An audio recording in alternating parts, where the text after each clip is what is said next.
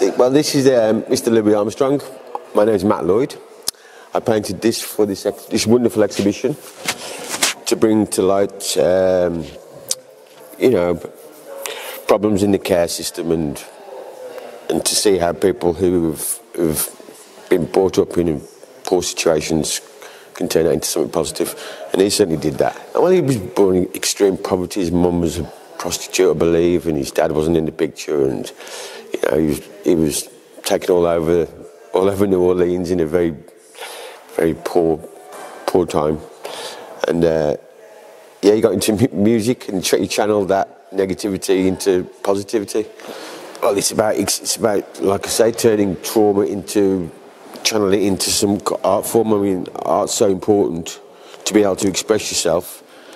I mean, you know, I've lost a friend, a close friend recently who grew up in the care system.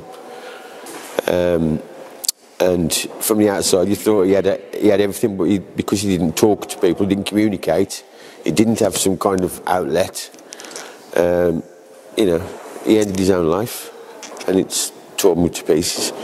But it's, it's, you know, I've lost I can't count them.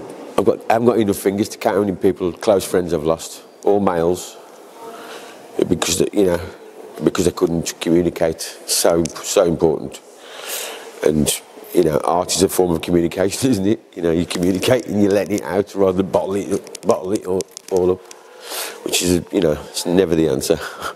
you've got to you got to do you got to let it out. Sing a song about it, or write something, or paint a picture about it, or do something talk to someone.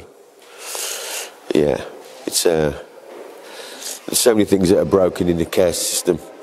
Um, so many horror stories here that are going on now, you know, all the time, constantly, and it's it's the opposite of care.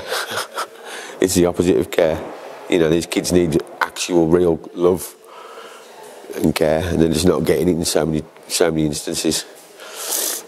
And anything you can do to change that. And this is, you know, this is a little exhibition in a little town, but uh, it's at least it's people trying to underline things that need to be, you know, made more aware of. Well, it can help channel. It can help channel channel your energies.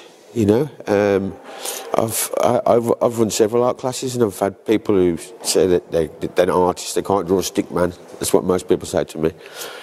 But I'll give them a canvas and some some, some brushes and some paints and, and just and just say just you know paint what you feel. All colour has emotional. It's an emotional trigger. Colour is an emotional trigger. So you put a bit of red down and it's it, it, will make it make you feel a certain way.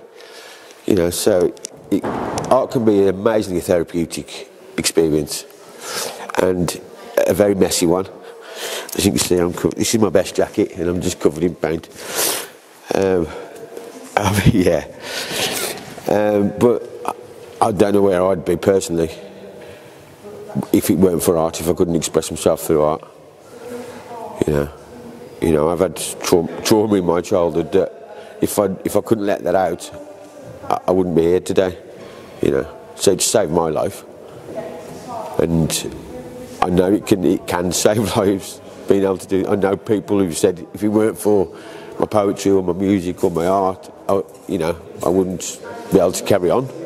So I think it's vitally important. Not just it's not just a nice pastime. I think it's important.